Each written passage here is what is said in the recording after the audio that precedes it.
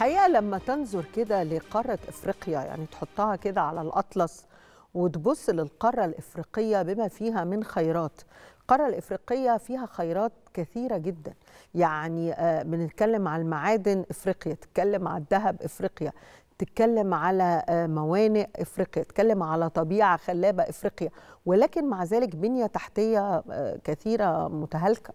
في عدد من الدول عدم وجود أمن وأمان في عدد من الدول الصحة أيضا آه، فيها مشاكل. فبالتالي هي أصبحت وكأن دول كثيرة تتنافس آه، دول عظمى تتنافس على الوجود في إفريقيا حتى تفوز بها المهم من يفوز بأفريقيا؟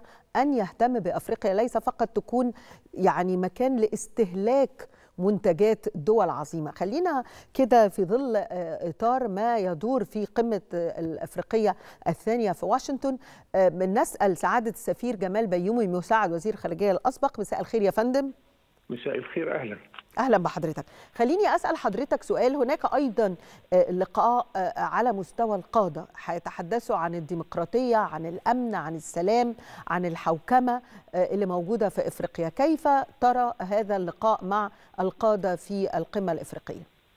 هو تطور كبير جدا لأن الولايات المتحدة لم تكن يعني مهتمة بالبعد الإفريقي. لأسباب اقتصادية ولأسباب أمنية لأن يعني ما هياش دول مؤثرة لا في الاقتصاد ولا في السياسة والأمن الدولي. ويعني أنا خدمت في عدة دول وعلى صداقة كل السفراء طبعا. سفراء أمريكا كانوا يقولوا يعني اللي عمله في إفريقيا في سنة اعمله في أوزاكا في اليابان في يوم. العائد مم. اثنين ما هماش محتاجين إفريقيا في حاجة لأن إحنا مش عاوز أكون آه، قاسي شوية. إنما أنا قلتها مرة لأحد كبار كبار الدبلوماسيين. من دولة آه، أوروبية عظمى. يعني أنتوا آه، لما شفت الثروة في أي مكان رحتوا استعمرتوا هذه الأماكن. صحيح. استعمرتوا شرق آسيا استعمرتوا الصين استعمرتوا الهند لما ظهر الذهب في الهند لما ظهرت المجوهرات والذهب في جنوب أفريقيا صحيح. آه، استعمار استيطاني لما ظهر البترول عندنا بدأت حقبة الاستعمار عندنا. صحيح. قناة السويس تسببت في احتلالنا. صحيح. كل ثروة كانت موجودة في أي مكان في العالم ذهب آه، ال- كل ثروة تر- ترى مستعمر.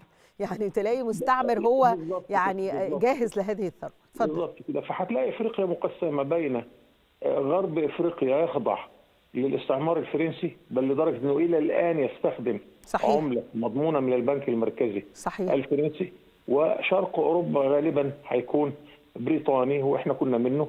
صح. وفي النص بقى هتلاقي إيطاليا وتلاقي ألمانيا وتلاقي بعض الدول صحيح ده الخلفية التاريخية. اثنين أنا حاولت بناء على طلب حكومة مصر إن أشتري أخشاب من إفريقيا. إفريقيا فيها آه، رئة من رئات العالم في الغابات بتاعتها طلع. أكسجين عظيم طبعا لكن أيضا قطع الأشجار يعني بنزرع بطريقة علمية إن نزرع آه، ضعف اللي إحنا بنقطعه. وتقدري تاخدي أخشاب من إفريقيا رخص التراب.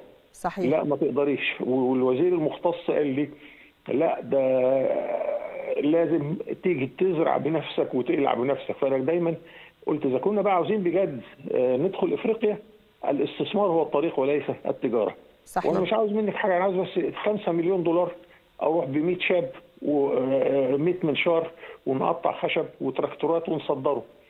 ده ده ده ال- ال- الوضع الجديد. انما أرجع لسؤالك وأقول الشيء اللافت للنظر هو إن أمريكا مش جاية عشان الثروات الإفريقية، الثروات الإفريقية already موجودة من زمان. أيوة. لا موجودة مستغلة فعلا باحتكارات أوروبية. صحيح. هي جاية لسبب أمني سياسي. تمام. وهو الصين. صحيح. وعاوز برضو أحط بين قوسين لأن أنا دبلوماسي مصري عجوز ودايما أفخر بسياسة بلدي. كل من خالف السياسة المصرية ندم بعد 40 سنة. صحيح. صحيح مش جدا. مش الصين دي اللي لاموا جمال عبد الناصر لما اعترف بيها 56 وعدوان تأول علينا في 56 وأمريكا كانت زعلانة مننا قوي إن إحنا بنصادق الصين. طيب صحيح. المفاجأة بقى إن الصين أكبر مستثمر للدولار الأمريكي وأكبر شريك تجاري لأمريكا وأكبر دولة مصدرة وأمريكا أكبر دولة مستوردة. صحيح. ده, ده الوضع. طب ما هنا هنا أنا هسألك سؤال سعادة السفير برضو. نعم. يعني هنا أفريقيا هي يعني يعني يعني في النص بين بين يعني إيه بين مش عايزة أسميها أطماع ولكن بين دول عظمى الكل يريد أن يستثمر الكل يريد أن يضع يده على أفريقيا. زي هل أنا بقى كأفريقيا أقدر أخذ هذه الفرص وأحول التحديات اللي عندي اللي موجودة على الأرض من بنية تحتية من من عدم سلام عدم ديمقراطية وصحة وما شابه من أشياء في إفريقيا وأخذها إلى فرص سواء من الصين أو من أمريكا. رحم الله الرئيس نكروما اللي قال إفريقيا للإفريقيين.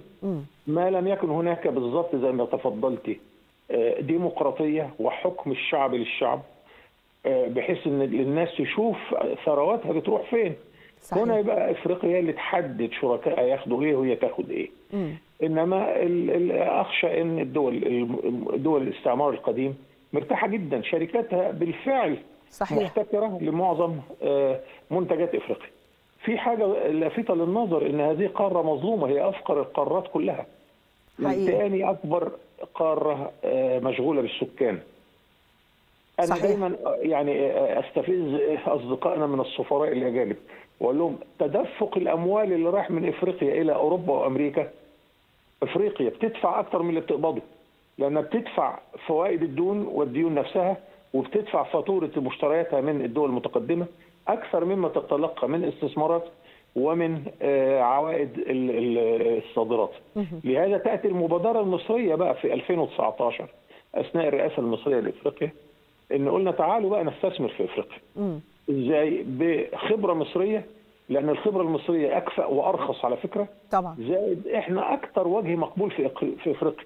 صحيح. إحنا أكثر دولة ممثلة في إفريقيا وعندنا تاريخ وعندنا تاريخ مش عاوز حد كبير يبالغ يفتكر إن إحنا بنصرف مليارات يعني صحيح أنا كنت سفير في إفريقيا 11 شهر قاعد لوحدي يعني أنا السفير والموظف الوحيد حضرتك كنت في أنهي بلد يا فندم؟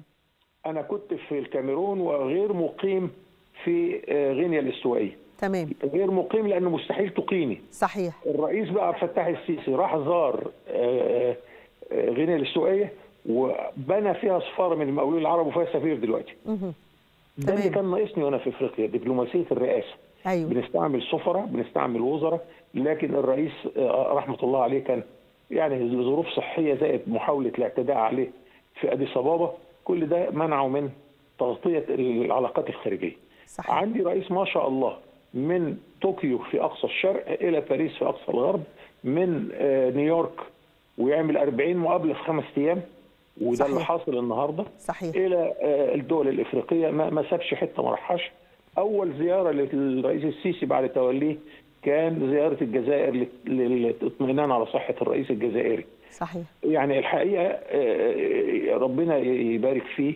وفي وزيرنا وزير الخارجية اللي ما بينامش في بيته كتير يعني. أكيد. عموما هي هذه هي هذه هي الإدارة المصرية والقيادة المصرية الآن تحديات كثيرة جدا مش فقط في مصر كشأن محلي ولكن هو ده وضع مصر ومكانة مصر أساسا بموقعها الاستراتيجي في أفريقيا وأيضا وجودها في أنها دائما يعني هي رمانة الميزان لهذه المنطقة. فأعتقد ما تقوم به القيادة المصرية أصبح واضحا للجميع من الشرق والغرب والجنوب والشمال العالم. السفير جمال بيومي أشكر حضرتك جزيلا على هذه المعلومات. شكرا جدا مساعد وزير الخارجية الأسبق أشكرك شكرا جزيلا.